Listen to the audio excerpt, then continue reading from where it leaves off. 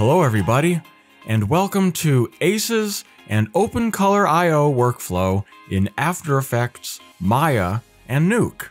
In this lesson, let's examine a simple workflow when working with the ACES color profile in Maya, After Effects, and Nuke. What is ACES? If you search up ACES or OpenColor IO, you most likely have seen this graph before. I don't know too much about this graph, except in this triangle, the red triangle, we can see all the colors we have available when working with our sRGB images. Those are just our standard images that we work in, let's say Photoshop or After Effects. But the ACES CG color profile represents all the colors inside of this purple triangle. And you can see there are much more colors available to work with. Okay, enough of that graph and the technical parts. Let's get started. Okay, here I am in Maya, and I have a simple scene of a cell phone case. I will open up the V-Ray frame buffer and examine my render here. If I go over here and select Display Color Correction, down here in the properties you'll see I have some bullets available to us. That's no color correction. Here we have the sRGB display correction, which is available to us when we, let's say, import the image into Photoshop or After Effects. And here's a Gamma 2.2, but now over here we have the OCIO. Here's the option that some of you might not know. So if I check this, notice what happened. Our display correction seemed to have opened up more color values to our image. That's because we are using this config.ocio along with our ACES color profile to sort of color correct this image. It's not really a color correction, but rather helps the ACES color profile to color this image. Now again, this is a picture you might see in Photoshop or After Effects. Now one thing you'll notice is if I save and export this image, okay, here in After Effects, in my project window, I'll just import that EXR. And yes, it notices it's an EXR file, so that's okay. It can build our other layers, but since we just have one layer in our test assembly, we just have the RGBA layer, and that's fine. Now here in our test EXR, it comes in with linear light. Now this image right here being processed is exactly how we saw here in V-Ray. The sRGB color correction is applied here in After Effects automatically. So in order for our image to change from sRGB to this OCIO ACES CG color space, we have to apply the same color correction, put our image in the ACES CG color space in After Effects. How can we do that? The first thing I have to do is download this OpenColor IO effect which will convert our image to the ACES CG color space. Another thing we have to do is download the config file for ACES. Okay, the first thing we can do is download from this website here. You see the post was May 2012, but in fact, the plugin version, you can see it is, has been updated since then with the 2021 versions. We can just download here with this button right here. I will take the OpenColor IO plugin file and drop it into my After Effects current version support files slash plugins folder. And I've put it right here beside my effects in the plugins folder. After restarting After Effects, I can now apply the effect. OpenColor.io. This effect lies in the utility OpenColor IO. Picture this as just selecting this right here in our V-Ray frame buffer. Now, we need a config file and we need the settings. So here I've gone to the OpenColor IO configs on the GitHub page where I can download this by clicking on code, download zip, and I can download all these different ACES config files. Okay, here I am in 7-zip, Here's the one that I want, the current version, version 1.2. I will take this ACES folder, and I will come to my C slash program data folder, and I will create a folder called OpenColor.io. And then I will drop that ACES folder right inside here. And I can put other versions as well in here if I wanted different config files.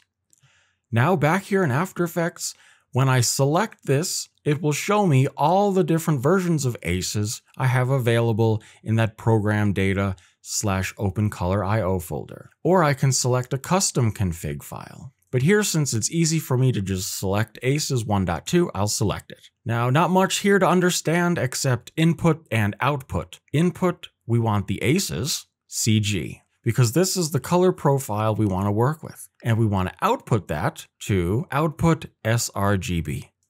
Now, if we turn the effect on and off, we can see it doesn't match very well, and that's because we have to interpret our footage. So if we right click or interpret footage main Control Alt G, I can change the way the alpha is interpreted here, which would help me in my workflow as well.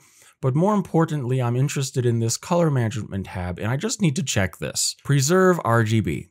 Now our image looks correct. So let's review the steps. First, apply the Open Color I.O. effect, select the ACES config, change the input ACES CG and the output sRGB, come here, interpret footage, main, color management, and check this. Great. Now does it match? I'll hit tilde to full screen, and then I can switch back to Maya and see my V-Ray frame buffer back and forth, and it matches very well. To make sure the ACES color profile is being used in Maya, go to Windows, Settings Preferences, Preferences, and here under Color Management Settings, make sure that Color Management is enabled, and we can see it is up here when it's on. You can either use the legacy, which is just the sRGB, or the default, which is now the rendering space ACES CG. The display is sRGB, and the view is ACES 1.0 SDR video. And the rendering space, the display and the view, must match here in the display correction. You can see when I select OCIO, the same as here. Something I can do is I can copy this config and put it here in the OpenColor.io folder as well. If I paste that there, if I select the configuration, you can see now I have my Maya 2022-default. So I will select that. Now you'll see some things have changed. And that's okay because we can just set up the same exact thing that we did before. Make sure the input color space, you'll see the options are a little different here, but this time, scanline linear ACES CG, output color space, display sRGB. In this way, as you can see, the color is a little off. And the reason that is, is because we want to select display, not convert. Because if we select convert, we're missing that extra one that we had in V-Ray. And if we select display now, we can see, yes, ACES CG, sRGB, ACES. Same thing here, ACES CG, sRGB, ACES. And the images match very well. You can see these images look a little different, and that is because if we interpret footage and we select ignore the alpha, then yes, we can get that image but I'll continue with pre-multiply because I want my alpha. Now to check this, I'm going to render this out. Render. And I will re-import the render and just make sure that it's looking correct. And it is. Now what about Nuke? Okay, here I am in Nuke. I'm going to press S for settings. In settings, the only adjustment that needs to be made is in the color tab of the project settings. But first, let's hit R to import our EXR. We can read in that file. We hit 1 to view it, spacebar for full screen, hit F to frame. Now you'll see that looks a lot different than here. In fact, if no color correction was applied, that's what it would look like. Now, if I hit S to go into the project settings, you'll see the color management option. Right now, we're letting Nuke handle the color management but we want the OCIO color space. So if we select OCIO and change the config to ACES 1.2, and this is all included in Nuke, now we will get the proper image. And this image matches when I select OCIO. And in fact, it is a direct match. If I want to export this out now, what I can do is hit W for the write.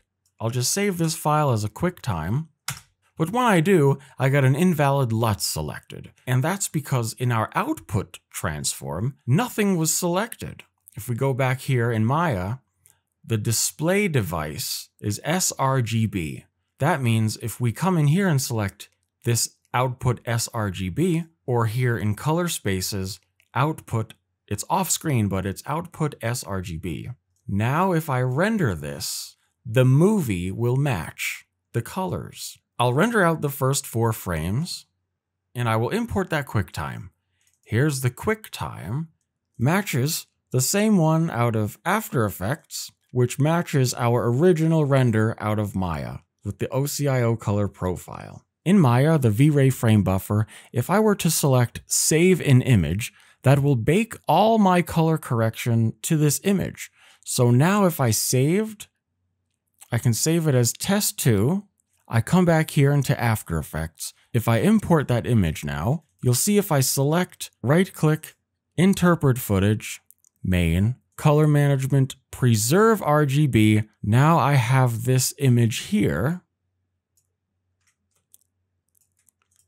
The one with the color profile baked into the image against the one with the plugin and the config OCIO file. So it's up to you in which way you prefer to work. I prefer using the config file so I can adjust my colors at any time. Great. And friends, that is how you work with ACES and OpenColor IO in Maya, After Effects, and Nuke.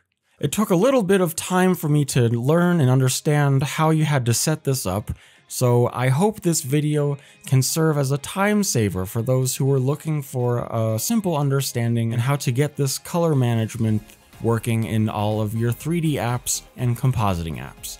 The same principles apply in other 3D software packages such as Houdini, Modo, and 3ds Max, Cinema 4D, and the applications of applying the config file later after renders can apply in other compositing packages as well. So friends, thank you very much for watching. Please stay safe and healthy wherever you are. Live long and prosper.